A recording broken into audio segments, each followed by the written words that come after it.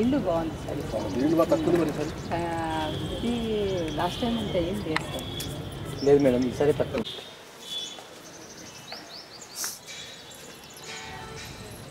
दस दिन फाटते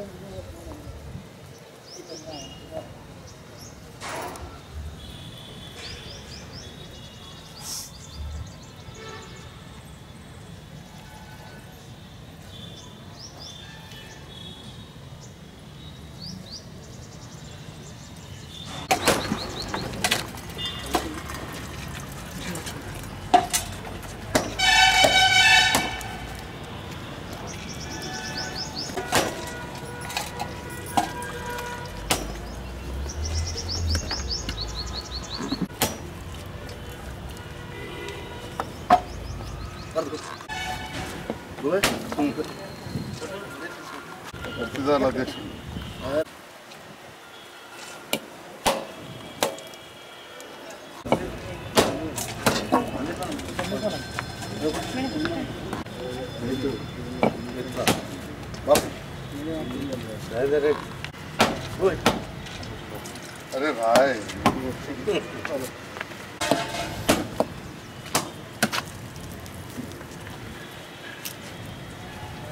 బయట పప్పు ఎంత కిలో ఉంది?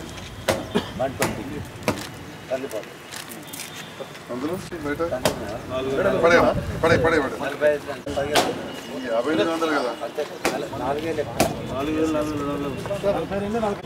నాలుగు వేలు ఉన్నప్పుడు ముప్పై రూపాయల కిలో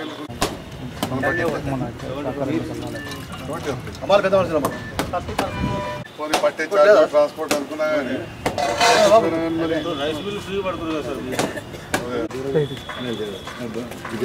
వచ్చినావా కొత్త కొత్త ఫస్ట్ ముందర రావా పట్టుకున్నాను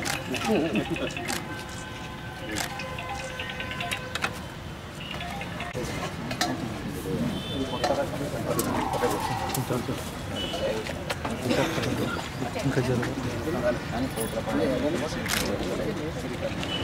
అరవై కిలోదా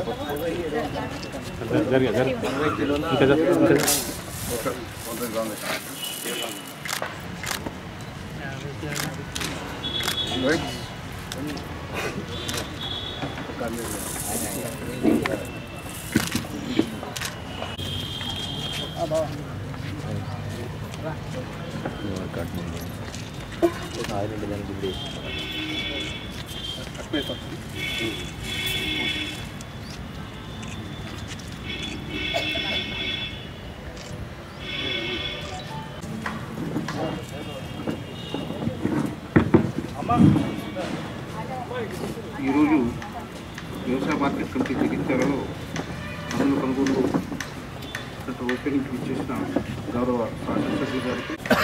జడ్పీటీసీ ఎంపీపీ గారికి అందరికీ పేరు పేరున స్వాగతం. జగిత్యాల జిల్లాలో ఐదు కొనుగోలు సెంటర్ను ఏర్పాటు చేయడానికి ప్రపోజల్ పంపించినాము. అందులో భాగంగానే గత వారం రోజుల క్రితం కొరట్ల వ్యవసాయ మార్కెట్ కంపెనీలో కొనుగోలు స్టార్ట్ చేయడం. ఈరోజు జగిత్యాలలో రెండవ సెంటరు గౌరవ ఎమ్మెల్యే గారితో స్టార్ట్ చేయడం జరిగింది. ఈ కార్యక్రమాన్ని ఏడి గారికి జడ్పీటీసీ నాగం భూమన్న గారికి సహచర ఎంపీపీ గారికి గ్రామ పంచులకు రైతు సమన్వయ సమితి సభ్యులు రవీంద్రన్నకు సుసన ప్రభుత్వం మన ఇంతకుముందు వరి ధాన్యం కొనుగోలు చేసినట్టే ఈరోజు కందుల కొనుగోలు కేంద్రాన్ని ఏర్పాటు చేసుకోవడం గొప్ప విషయం. మన గౌరవ చంద్రశేఖరరావు ముఖ్యమంత్రి గారి ఆదేశానుసారం మార్కెట్ ఫండ్ ద్వారా ఈరోజు కొనుగోలు కేంద్రాన్ని ప్రారంభించుకోవడం జరిగింది మన శాసనసభ్యులు చైర్మన్ గారి ద్వారా. ఇది చాలా రైతులకు మనందరికీ శుభోదయంగా మంచి ఆనందోత్సవంగా రైతుల ఆనందమే మన ప్రభుత్వ లక్షణం. అందుకొరకే ఇంతకుముందు గతంలో మనం మక్కల కొనుగోలు కేంద్రాన్ని ఏర్పాటు చేసుకోగానే దానికి రెట్టింతల రేటు పెంచడం జరిగింది వ్యాపారులు. అదేవిధంగా అది దృష్టిలో ఉంచుకొని ఈరోజు కందుల కొనుగోలు కేంద్రానికి వచ్చినందుకు రైతులకు అమాలి సోదరులందరికీ మరొకసారి హృదయపూర్వక ధన్యవాదాలు తెలియకి నమస్కారాలు తెలుస్తూ ముగిస్తూ జై తెలంగాణ. కందుల కొనుగోలు కేంద్రానికి ఇచ్చేసినటువంటి పెద్దలు శాసనసభ్యులు సంజయ్ సార్ గారికి మార్కెట్ చైర్మన్ లోక బాపిరెడ్డి గారికి అలాగే వేదికపై ఉన్న ఆర్డీఓ గారికి ప్రజాప్రతినిధులందరూ కూడా మరి ధన్యవాదాలు తెలియజేస్తూ ఇక్కడికి వచ్చిన రైతు సోదరులు అమ్మాలి సోదరులు అందరికీ కూడా పేరు పేరున ధన్యవాదాలు తెలియజేస్తూ ఎలాగైతే ప్రభుత్వం రైతులకు ఇంత మంచి అంటే ఎప్పుడూ లేని విధంగా రైతులకు ఎక్కడ కూడా కష్టాలు ఎదుర్కోకుండా ప్రతి వడ్లు వరిధాన్య కొనాలి కానీ అన్ని కొనుగోలు కేంద్రాలు మరి మద్దతు ధర కల్పిస్తూ మరి ఏనాడు లేని విధంగా రైతు బీమా కావండి రైతులకు ఎటువంటి ఇబ్బంది ఎక్కడ కలగకుండా ప్రతి సేవ మన ముందు ఇవాళ కరెంటే కానీ గ్రామీణ ప్రాంతాల్లో నీటి నీ నీ నీరు గురించి ఎన్నైనా ఏదైనా ప్రతి విషయంలో మరి ప్రభుత్వం కానీ గౌరవ శాసన సభ్యులు మనందరి ఏ సమస్య ఉన్నా వారు ముందుండి మరి రైతులకు ఎక్కడ కూడా ఇబ్బంది కలగకుండా చేస్తున్నాడు ప్రభుత్వం తెలంగాణ ప్రభుత్వం మరి ఇటు ఈ కొనుగోలు కేంద్రానికి ఆహ్వానించినందుకు మరొకసారి ధన్యవాదాలు తెలియజేస్తూ ప్రభుత్వం ఎక్కడైతే రైతు పండించిన పంటకి మద్దతు ధర కనీసం అతనికి లాభసాటిగా ఎక్కడైతే ఉండలేదని ఉండలేదు అని గమనించిన వెంటనే ఏ పంటనైనా సరే ప్రభుత్వం ద్వారా కొనుగోలు చేసి రైతును ఆదుకోవడానికి ఈ అనేక కార్యక్రమాలు చేపడుతున్నాం. మన జిల్లాలో పెద్ద ఎత్తున ప్యాడీ సేకరించడం మనందరికీ తెలిసిందే. అదొక వినూత్నమైన విస్తృతమైన కార్యక్రమంగా జిల్లా యంత్రాంగం చేపట్టింది. దానికి స్థానిక శాసనసభ్యులు మరియు గౌరవ ప్రజాప్రతినిధులందరూ కూడా ఎల్లవేళ్ళ సహకారం చేస్తూ రైతులకు ప్రభుత్వం ఏదైతే మంచి లబ్ధి చేకూర్చాలని చూస్తుందో ఆ యంత్రాంగాన్ని మనం పకడ్బందీగా జిల్లాలో అమలు చేశాం. అదేవిధంగా మామిడి అదేవిధంగా గతంలో మక్కలు పత్తి ఇప్పుడు కందు రైతులు ఇబ్బంది పడుతున్నారు. విస్తృతంగా పంట లేనప్పటికీ కూడా పండించిన ఏ రైతు కూడా ఇబ్బంది పడుతున్న ఉద్దేశంతో స్థానిక శాసనసభ్యులు మరియు మార్కెట్ అధ్యక్షుల వారి యొక్క కృషితోటి వాళ్ళు ప్రభుత్వం దృష్టి తీసుకెళ్ళి తక్కువ విస్తీర్ణంలో జగిత్యాల్లో కందులు పండిస్తున్నప్పటికీ కూడా ఇక్కడ కూడా కందు పండించే రైతుకి మద్దతు ధర కనిపించాలనే ఉద్దేశంతో మనకు కూడా ఈ కందుల కొనుగోలు మద్దతు ధరతో కొనుగోలు కేంద్రాలని తీసుకొచ్చినందుకు ప్రత్యేకంగా రైతుల తరఫున స్థానిక శాసనసభ్యులు మరియు మార్కెట్ చైర్పర్సన్ గారికి మరొకసారి నా ధన్యవాదాలు. తెలంగాణ ప్రభుత్వం ఏర్పడ్డ తర్వాత రైతు శ్రేయస్సే ధ్యేయంగా ముఖ్యమంత్రి గారు బడ్జెట్లో అత్యధిక నిధులు వ్యవసాయానికి కేటాయిస్తూ వ్యవసాయ అభివృద్ధియే శ్రేయస్సే ముందుంచుకొని వారు రైతులకు ఎలాంటి ఇబ్బంది లేకుండా కట్టు నీరిస్తూ కరెంట్ ఇస్తూ అతొత పంట ఉత్పత్తులను పెంచుతూ ఆ పంట వచ్చిన ఉత్పత్తిని కూడా కొనడానికి ఇట్లాంటి కొనుగోలు కేంద్రాలు కూడా ఏర్పాటు చేస్తూ రైతుకు ఏ విధమైన ఇబ్బంది కలగకుండా పంట కొనుగోలు చేయాలి. ఆ తర్వాత డబ్బులు కూడా వీలైనంత తొందరగా ఇవ్వాలనే ఉద్దేశంతో వరి అంత పెద్ద ఎత్తున వరి వచ్చినా కానీ దానికి కూడా అతి తొందరలో అంటే ఆన్లైన్ అయిన తర్వాత వారం రోజుల లోపలే డబ్బు చెల్లించే విధంగా కూడా ముఖ్యమంత్రి గారు దృష్టి సాధించారు ఈ కో ఈ కందుల కొనుగోలు కూడా తొందరనే డబ్బులు మళ్ళీ రైతులకు ఇస్తారని చెప్పి ఆశిస్తూ అలాగే కంది పంట ఒకప్పుడు చాలా ఎక్కువగా తగ్గింది. కారణం ఏంటంటే ఇటు కోతులు అటు మనుషులు లేబర్ కూడా చాలా తగ్గారు అందుకని వరి పంట రైతులు తగ్గించి ఇతర పంటల వైపు దృష్టి పెట్టాలంటే ఇతర పంటల్లో కూడా వీలైనంత వరకు ప్రభుత్వం దృష్టి సారించి యాంత్రీకరణ తెచ్చినట్టయితే అంటే ఈ వరి ఎందుకు ఎక్కువ వేస్తున్నామంటే అటు ప్యాడీ ట్రాన్స్ప్లాంట్ మిషన్లు కూడా వచ్చినాయి. ఒకవేళ లేని లేబర్తో వేస్తున్నాం. ఆ తర్వాత హార్వెస్టింగ్ కూడా మనం పూర్తిగా యాంత్రీకరణ అంటే మిషనే వస్తుంది వడ్లు తీసుకొచ్చి ఇట్లా పోస్తున్నాం టైకెప్ సెంటర్లో అమ్ముకుంటున్నాం. ఈ విధంగా ఈ పప్పు ధాన్యాలు కానీ ఇతర పంటలు కూడా మనం వాటి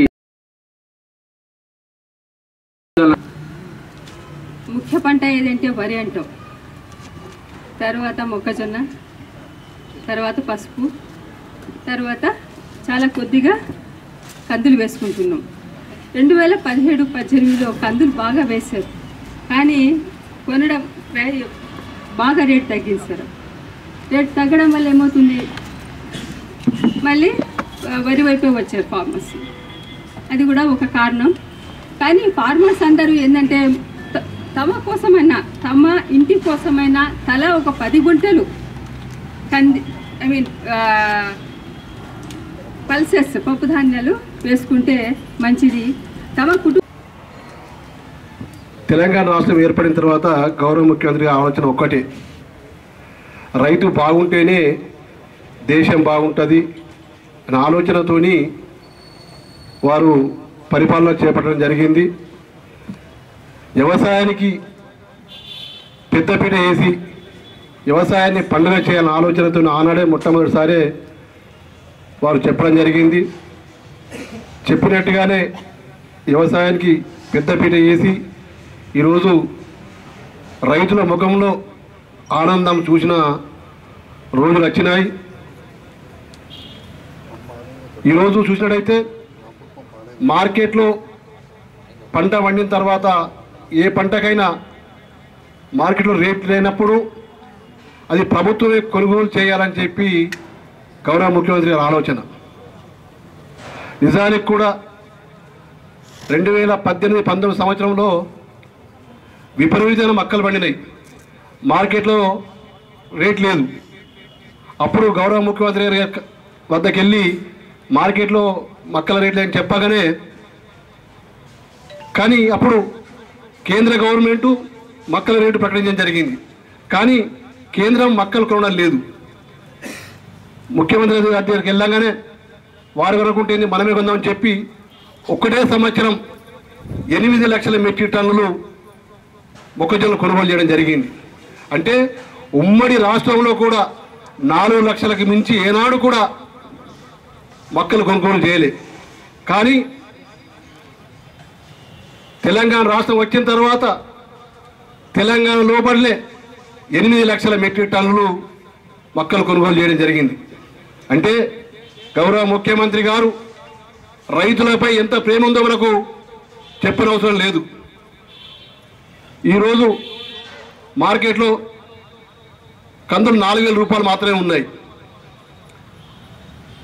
మన మద్దతు ధర ఐదు వేల ఎనిమిది వందల రూపాయలున్నాయి. దాదాపు పద్దెనిమిది వందల రూపాయల వ్యత్యాసం ఉంది.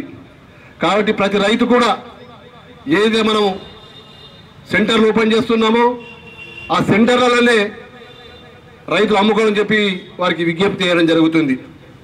ఎందుకంటే బయట దళారులకు అమ్మి మోసపోవద్దు. చివరి గింజ వరకు కూడా ఇలా ప్రభుత్వం కొనుగోలు చేస్తుంది. ఈ పంటనే కాదు మార్కెట్ల ఏ పంట వచ్చినా మార్కెట్లో ధర లేనప్పుడు తప్పకుండా తెలంగాణ రాష్ట్ర ప్రభుత్వం కొనుగోలు చేసి రైతులను ఆదుకుంటామని చెప్పి నేను గౌరవంగా చెప్పగలుగుతున్నాను వారు మొట్టమొదటిసారి చెప్పిండు మార్కెట్లో ఏ పంట కూడా ధర లేనప్పుడు ప్రతి పంటను కూడా మద్దతు ధర పంటను తప్పకుండా కొనుగోలు అని చెప్పి వారు చెప్పడం జరిగింది. కాబట్టి ఇలా ప్రతి పంటను కూడా మనం కొంటున్నాం. మొన్న మనం వానాకాలం క్రాప్ చూసినాం. ప్యాడీ విపరీతమైన ప్యాడ్ వచ్చింది కానీ ఒక్క రోజు కూడా ఏ రైతుకు కూడా ఇబ్బంది కాకుండా చేయడం జరిగింది. గతంలో ఒక గ్రామంలో పిఎస్ఎస్ కానీ లేకుంటే ఐకేబీలు కానీ ఉంటే ఒకటే సెంటర్ ఉండేది. కానీ ఈరోజు తెలంగాణ వచ్చిన తర్వాత ప్రతి గ్రామంలో కూడా ఒక పిఎస్ఏ సెంటర్ ఒక ఐకేపీ సెంటర్ రెండు సెంటర్లు పెట్టి కూడా ఇలా మనం కొనుగోలు చేస్తున్నాం. ఎందుకంటే ఒక సెంటర్ ఉంటే రైతుకి ఇబ్బంది అవుతుంది వర్షాలు పడతాయో అనే ఆలోచనతోని ఇలా మనం రెండెండు సెంటర్లు పెట్టి ఏ రైతు కష్టం కాకుండా కూడా మనం ఈరోజు ధాన్యాన్ని కొనుగోలు చేయడం జరుగుతుంది. కాబట్టి రైతన్నలు తప్పకుండా ఏదైతే మనం సెంటర్ ఓపెన్ చేసినామో ఆ సెంటర్లలోనే ధాన్యం అమ్మి ఇలా మీరు లాభ పొందాలని చెప్పి మరొకసారి మీకు కోరుకుంటూ ఈ అవకాశం పెద్దలకు ధన్యవాదాలు చేస్తూ గత కొన్ని సంవత్సరాలుగా రెండు మూడు సంవత్సరాలుగా ఎంత పంట వచ్చినా కానీ ఇటు మొక్కజొన్నలు కానీ ఇటు కందులు కానీ ప్రతి ధాన్యాన్ని కూడా బయట దళారుల చేతుల్లో రైతులు మోసపోవద్దని బయట మార్కెట్లో రేటు డౌన్ చేసినప్పుడు కూడా ఒక మంచి మద్దతు ధర ఇవ్వాలి కొనుగోలు చేయాలని చెప్పే ఆలోచనతోటి అటు ముఖ్యమంత్రి గారు అదేవిధంగా మార్కెట్ చైర్మన్ గారు కూడా విశేషంగా కృషి చేస్తూ ఉన్నారు.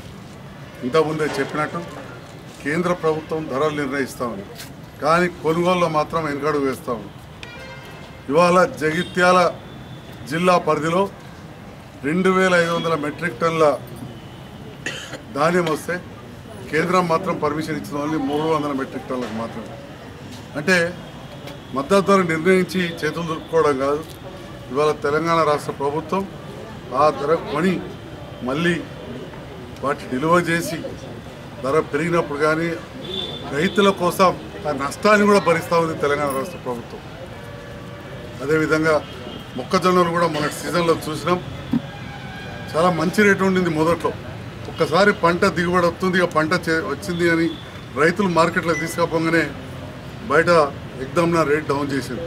ఆ సమయంలో బాపరెడ్డి గారు మేము రైతులను కోరినాం. మార్కెట్లో ధరలు బాగున్నాయి. అమ్మడానికి వస్తున్నాయి డౌన్ చేస్తారు కొన్ని రోజులు మీరు దాచిపెట్టి ఉంచుకోరు మీ గోదాములలో లేకపోతే ఇళ్ళలో అని చెప్పినాం. అయినా కానీ రైతులకు సరైన వసతులు లేకపోతే ఇబ్బందులు పడుతూ ఉంటే అప్పుడు కూడా కోరగానే మార్కెట్ ద్వారా కొనుగోలు కేంద్రాన్ని ఏర్పాటు చేసి మొక్కజొన్న కూడా కొనడం జరిగింది. మరి ఈ రకంగా రైతులకు అండగా తెలంగాణ రాష్ట్ర మార్కెట్ ఉంది. మరి అదేవిధంగా మనం చూస్తూ ఉన్నాం తెలంగాణ రాష్ట్ర ప్రభుత్వం ఎక్కడ లేని విధంగా వడ్లు కొనుగోలు చేయడం జరిగింది. అదే పొరుగు రాష్ట్రాలలో అది ఏ పార్టీ పాలించాయని అందరూ తెలుసు. చుట్టుపక్కల ఉన్న ప్రాంతాలలో ఎకరానికి పదిహేను క్వింటాల కంటే ఎక్కువ కొనట్లేదు.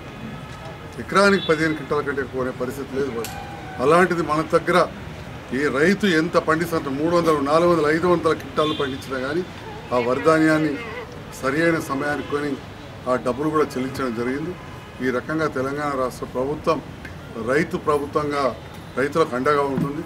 కాళేశ్వరం ప్రాజెక్టు ఇవాళ కేసీఆర్ గారు కట్టి నిజంగా చెప్పాలంటే కొంత ఎస్ఆర్ఎస్పికి ఎగువనున్న ప్రాంతాల్లో తాగడానికి కూడా నీళ్ళు లేని పరిస్థితి ఉంటా ఉండే. పక్క నుంచే కెనాల్ పోతుంది పక్క నుంచే కెనాల్ పోతుంది కానీ తాగడానికి కూడా నీళ్ళు లేని పరిస్థితి కొన్ని గ్రామాలలో జైత్యాల మండలంలో ఉండింది రైతులము మేము రిప్రజెంటేషన్ చేయాలంటే ప్రీతం నాయకురాలు కవిత గారు కూడా అప్పుడు స్పందించారు. ముఖ్యమంత్రి గారు కలవగానే వాళ్ళ తుమ్ముల నిర్మాణం ఏర్పాటు చేశారు. చెరువులు నింపుకున్నాం వర్షాకాలం బ్రహ్మాండంగా. మళ్ళీ నీళ్ళు తగ్గినాయి అనగానే మన మీటింగ్లో మంత్రివర్లకు చెప్పిన నిన్నాక మొన్న మున్సిపల్ చైర్మన్స్ తోటి వెళ్ళినప్పుడు అక్కడ కూడా చీఫ్ మినిస్టర్ గారి ఓఎస్డీకి చెప్పగానే ఇమ్మీడియట్గా నిన్న రాత్రే పంపులు చాలు చేస్తున్నామని చెప్పి అక్కడ ఉన్న అధికారులు నాకు చెప్పడం జరిగింది. ఇప్పుడే రైతు నాయకులు రవీందర్ రెడ్డి గారు కూడా చెప్తా ఉన్నారు పంపులు ఆల్రెడీ ఆన్ అయినాయి. అంటే కొన్నిసార్లు మనం వార్తలు వింటూ ఉంటాం. కాళేశ్వరం ప్రాజెక్టు కట్టిర్రు ఒక్క ఎకరానికి కూడా నీళ్ళు రావట్లేదని చెప్పి. ఒక్క రాంపూర్ పంప్ హౌస్ పక్కనే ఉన్న ఆ తూముల నుంచి వచ్చే నీరుతోటే కొన్ని వందల ఎకరాలు ఇవాళ ఆయకట్టు సాగవుతూ ఉంది. ఆ చెరువు నిండితే చెరువు కింద ఇంకొక ఆరేడు చెరువులు కూడా నిండుతూ ఉన్నాయి. అంటే ఈ రకంగా తెలంగాణ రాష్ట్ర ప్రభుత్వం ఇటు నీరు అటు కరెంటు సమయానికి విత్తనాలు ఎరువులు దాంతో పాటుగా మళ్ళీ కొనుగోలు చేయడం వరకు కూడా ఈ ప్రభుత్వం చేస్తూ ఉంది కాబట్టి ఇది రైతు ప్రభుత్వం. మరి మొన్ననే మాటలలో చెప్తా ఉండ్రి మార్కెట్ చైర్మన్ గారు. మరి పెద్ద ఎత్తున మళ్ళీ వరి ధాన్యం వేసిండ్రు. ఎరువులు అందుబాటులో అంటే ఎన్నంటని ఎరువులు సప్లై చేస్తారు టైంకి అని చెప్పి మార్కెట్ చైర్మన్ గారు చెప్పారు మరి మళ్ళీ ఎప్పుడో ఒకసారిగా పత్రికలు ఉన్నాయి కదా లేకపోతే ఎలక్ట్రానిక్ మీడియా ఉన్నది కదా అని చెప్పి ఇంకా ఎరువులు రాలేదనగానే ఇచ్చిన అనుకో దిక్కరి ఆల్రెడీ రెడీ ఉన్నాయి. కాబట్టి ఎప్పటికప్పుడు తెలంగాణ రాష్ట్ర ప్రభుత్వం రైతుల గురించి ఆలోచిస్తూనే ఉంది ముందుగా. కాబట్టి ఈ రైతులు ఎవరు కూడా మళ్ళీ ఎరువు బస్తాలు ఒక లోడ్ రాగానే దొరుకుతుందో దొరుకుతుందో అని చెప్పి షార్టేజ్ అయ్యేలా చేయొద్దు. ప్రతి ఎకరాకు సరిపోయేంత ఎరువులు ఈ తెలంగాణ రాష్ట్ర ప్రభుత్వం మార్కెట్ ద్వారా సప్లై చేస్తామని చెప్పి కూడా తెలియజేస్తూ ఈ కార్యక్రమాన్ని ఆహ్వానించేందుకు ధన్యవాదాలు తెలియజేస్తున్నా. జై హింద్ జై తెలంగాణ.